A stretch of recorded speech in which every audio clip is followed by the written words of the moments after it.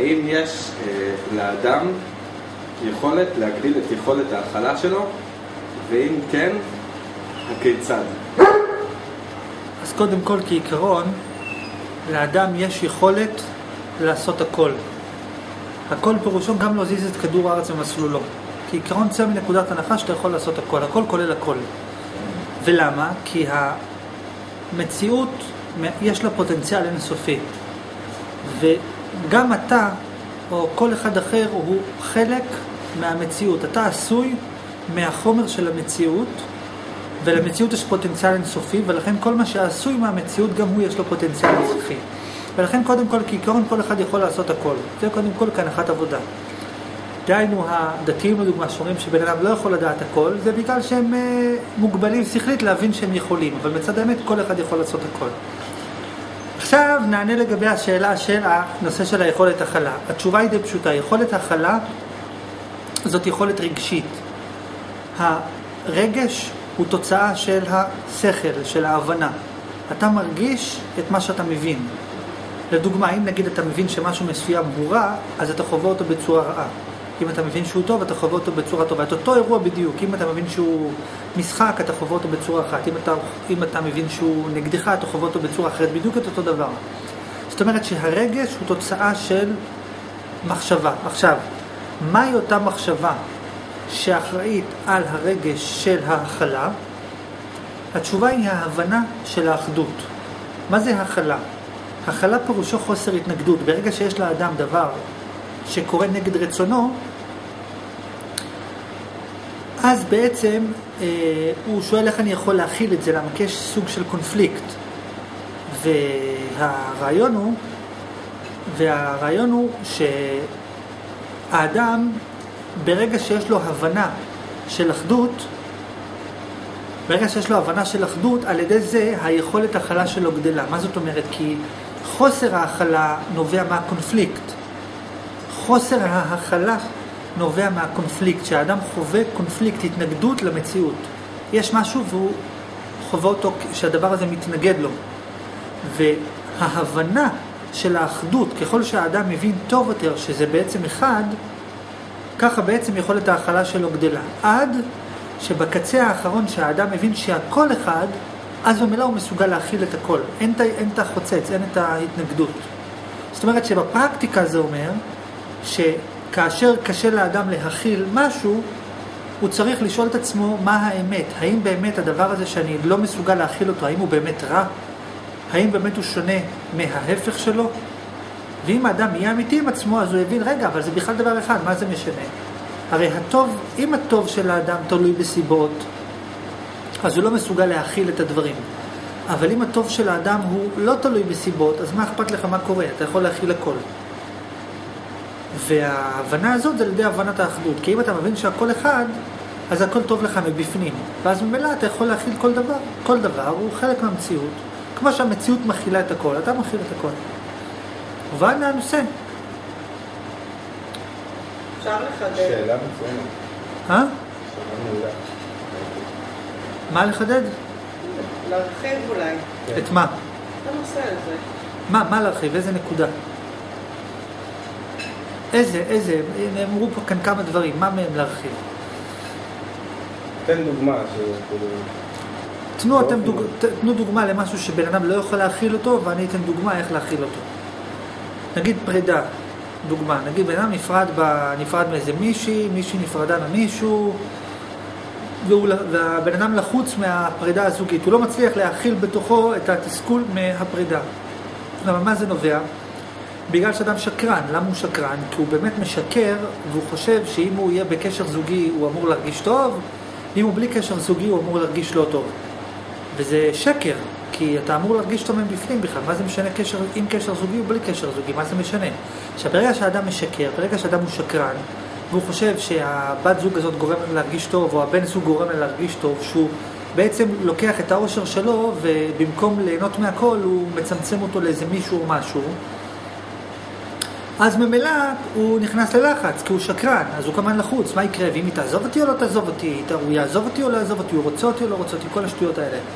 אבל אם האדם הוא אמיתי, שהוא מבין שמצד האמת זה לא משנה, כי אם בן אדם נמצא בזוגיות או לא, בתכל'ס זה לא יותר מאשר תמונה במוח. זה, ש... זה רק תמונה.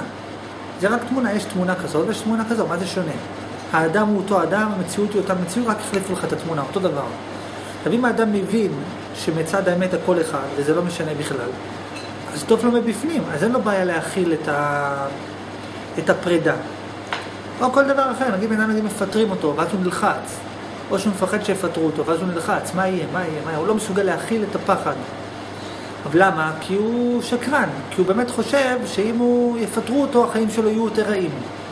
וזה נכון שהחיים שלו יותר רעים. למה החיים שלו יהיו יותר רעים? כי אם יפטרו אותו, הוא פחות יוכל, לא יהיה לו כסף, אם לא יהיה לו כסף הוא פחות יוכל לקנות דברים, ואם הוא פחות יוכל לקנות דברים, החיים, ש- הוא פחות יוכל למלא את הרצונות שלו, ואז באמת יהיה לו רע. אז למה בכל זאת אני אומר שהוא שקרן? כי אם הוא היה אמיתי, הוא היה מבין שהכל אחד, ואם הכל אחד, אז טוב לך מבפנים. אז הטוב שלך לא תלוי ביכולת הרכישה שלך. הטוב לא תלוי, הוא לא פונקציה של כמה אתה יכול לקנות. ו... וכאשר הטוב שלך הוא לא פונקציה של כמה אתה יכול לקנות, אז ממילא טוב לך מבפנים, אז אתה לא מפחד אם יפטרו אותך או לא. אז תהיה חולה, בסדר, אז אה, יזרקו אותך, בסדר, אז. מה הבעיה? הבנו זאת אומרת, ככל שאדם יותר באחדות, מבין שזה אחד, אז הוא מכיל יותר את המציאות. התשובה תמיד חוזרת לאחדות, אני כן הייתי רוצה להרחיב על הנושא של התלות. אנשים רבים שאני שוחחתי איתם, גם אני בדרכי חוויתי את הנושא של הבדידות. אוקיי? אנשים, אה, גם אם חושבים אחדות, מי שלא הגיע לשם, הם מתעקשים שצריך את החברה, את התלותיות, שזה בלתי אפשרי באנ- באנושות, כמובן שהם לא מבינים, כי באחדות לא צריך כלום, כי יש הכל כולל הכל, אבל שוב פעם, התחושה של התלותיות, הצורך הזה, אנשים מתעקשים על הנושא של הבדידות, הם משתגעים מזה. איך להתמודד עם הנושא של הבדידות? זה גם סוג איך של יכולת הכלה? כי בדידות זה ותלותיות. שקט. בדידות זה שקט. יכולת הכלה זה לדעת להתמודד עם השקט. זאת אומרת, ברגע שאתה לבד, אז יש לך שקט, ואז אתה מנסה, בעצם המלחמה שלך זה אתה מנסה לברוח מהשקט, כי לא קורה כלום. גם הלבד והבדידות זה שונה, כי אתה יכול להיות אה, בחברה של 100 אנשים ולהרגיש הכי בודד בעולם, כי זה פנימי, שוב פעם. זה לא בדידות, זה לבדות, זה כן. זה תחושת בדידות. זה. גם אני מתעקש, אני אומר שמי שרוצה להרגיש טוב, חייב להיות בסביבת אנשים. נכון. אבל זה נכון רק אם אני מייצג את השטן שרוצה לאמלל בני אדם. כי השטן, הוא אומר לך, תקשיב, אתה כדי להרגיש טוב, אתה חייב שיהיה המציאות דווקא בצורה מסוימת. אבל אם אתה פיקח, אז אתה מצליח להכיל בתוכך את הכל. ואיך מכילים את הכל? על ידי שתיקה. איך האדם יכול להכיל בתוכו את הכל? על ידי שתיקה. אם האדם מגיע לדרגת שתיקה, אז הוא מסוגל להכיל בתוכו את הכל. השתיקה הרגשית, שתיקה רגשית, שאדם שותק ומכיל בתוכו, בתוכו את, סך כל הרגשות. ועל ידי זה הוא מסוגל להתמודד עם בדידות, עם רוע, עם דיכאון, עם חרדה, עם הכל. מה זאת אומרת שתיקה רגשית? פשוט לא לקטר, לא להתלונן.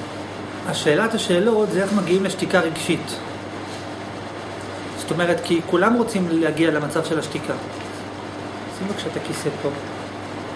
כחוצץ, תודה. שאלת השאלות זה בעצם איך האדם יכול להגיע לשתיקה רגשית. כי הדבר היחיד שאי אפשר לעשות אותו וגם להגיע אליו זה שתיקה. בן אדם לא יכול להכריח את עצמו לשתוק. כאילו או שאתה שותק או שאתה לא שותק.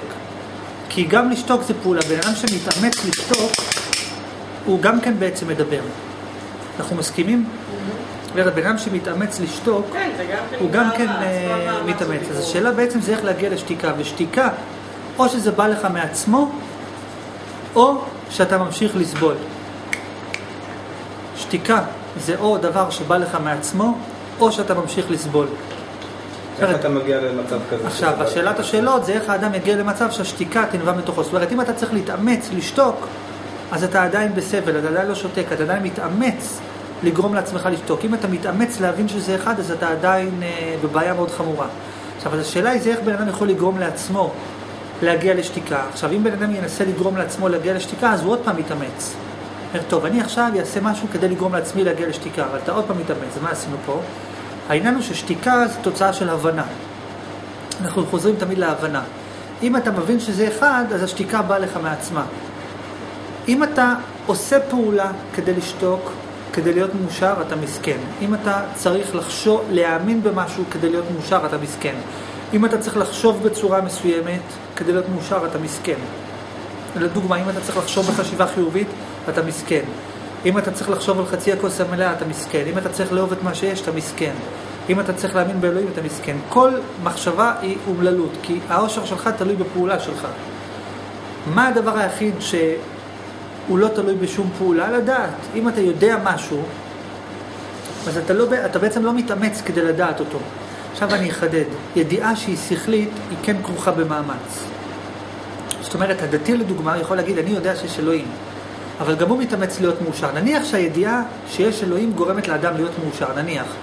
אבל הידיעה שיש אלוהים גם היא כרוכה במאמץ אינטלקטואלי, איזה חישוב פילוסופי להוכיח, אתה צריך להוכיח לעצמך שיש אלוהים כדי להזכיר לעצמך ש, שבאמת הכל טוב. נניח שאלוהים זה טוב. העניין הוא שיש ידיעה שהיא לא שכלית, זאת אומרת, יש ידיעה שהיא מעבר לשכל, שהיא לא קשורה לשכל. שאליה, השאלה זה איך מגיעים אליה. הרעיון הוא שאם אתה תתאמץ בשכל שלך עד הקצה שלו, אז ייפתח לך מה שיש מעבר לשכל, ואז אתה תדע את הדבר בלי להתאמץ לדעת אותו. ואז יש ידיעה מסוימת שאתה יודע אותה בלי להתאמץ לדעת אותה, שהיא בעצם כרוכה ב-0% מאמץ, שהיא מביאה לך את השתיקה ואת יכולת ההכלה. אמרת שמי שאוהב את הכל, אז הוא גם כן מסכן. עכשיו, אני מבינה ש... מי שאוהב את הכל הוא מסכן, אמרתי שמי שצריך לשכנע את עצמו שהוא צריך לאהוב את מה שיש הוא מסכן. אוקיי. אז איך מגיעים למצב שאתה לא, לא יכול לשכנע? למרות שזה גם כן נכון, כי מי שאוהב את הכל, זה אומר שהוא לא מצליח להכיל בתוכו את השנאה, אז הוא גם כן מסכן. אבל באהבה יש, זה כולל הכל, מבחינת... גם בשנאה זה כולל הכל. אבל, אתה מכיל גם את השנאה באהבה. אם זה אהבה מוחלטת. אם זה אהבה מוחלטת לכל דבר, אז, אז אפשר להגיד גם, ש... אז, אין, אז אין כבר משהו שאתה שונא ומשהו שאתה אוהב, אז אפשר להגיד שאתה אוהב את הכל, אפשר להגיד שאתה שונא את הכל. אוקיי. הרעיון הוא זה אם אתה בקצה, אם אתה בקצה של האהבה או בקצה של השנאה, אתה חווה את אותו דבר. אם אתה שונא את הכל באותו מידה, אוהב את הכל באותו מידה, זה אותו דבר בעצם. אין הבדל. תכלס זה אותו דבר. נכון, העניין זה אם אתה לא בקצה, אם יש דברים שאתה אוהב ודברים שאתה לא אוהב, אז אתה בבעיה. מובן?